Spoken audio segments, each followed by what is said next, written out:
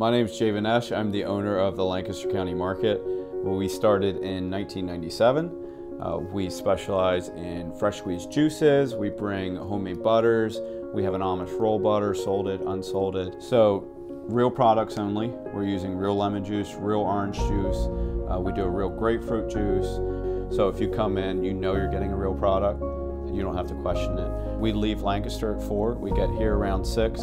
Uh, most of our customers obviously don't see that part, but we make our juices fresh every morning. So we're starting at 6. We have about an hour and a half to two hours until the market opens.